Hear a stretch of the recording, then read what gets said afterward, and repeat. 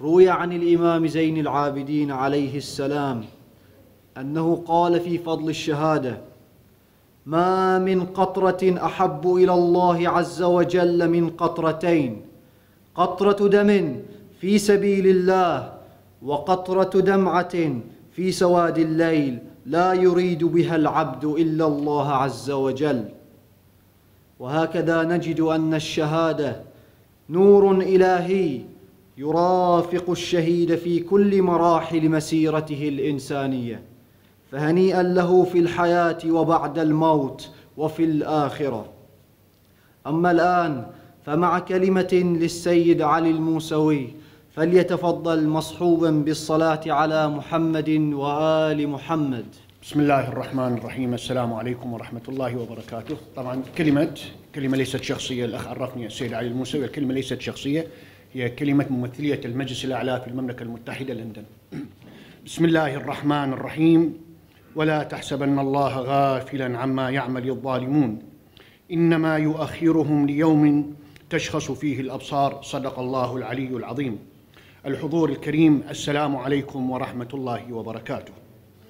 منذ سنوات وشعب البحرين في حراكه السلمي يطالب بحقوق المواطنة الكريمة.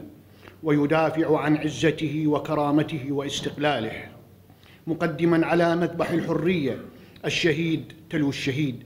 وبالرغم من كل المحاولات لجره إلى نزاع دموي لكن الشعب يصر على سلمية هذا الحراك رغم وحشية الإجراءات الظالمة ضده.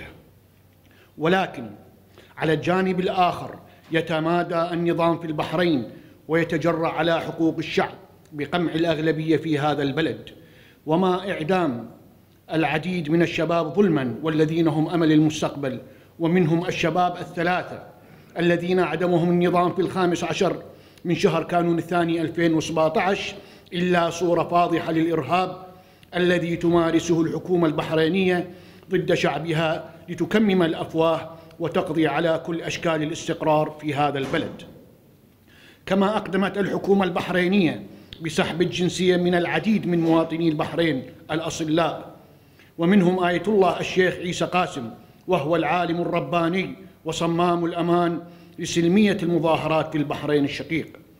كما لجأ النظام البحريني لمحاصرة آية الله الشيخ عيسى قاسم ومنعه من التواصل مع أبناء شعبنا البحريني الصامد الحضور الكريم.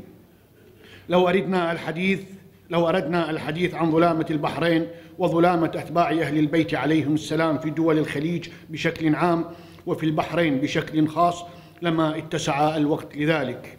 ندعو الله عز وجل أن يحفظ أهلنا في البحرين وعموم الخليج وأن ينصرهم وأن يرفع عنهم الغمة ويحقق آمالهم في العيش الشريف والكريم أسوة بباقي الشعوب العالم. وسيعلم الذين ظلموا أي منقلب ينقلبون وإلى أرواح شهداء البحرين وشهداء الإسلام جميعا وإلى أموات الحاضرين جميعا. رحم الله من يقرأ الفاتحة مع الصلوات. نشكر ممثل مكتب المجلس الأعلى العراقي سي السيد علي الموسوي على كلمته التضامنية مع شعب البحرين.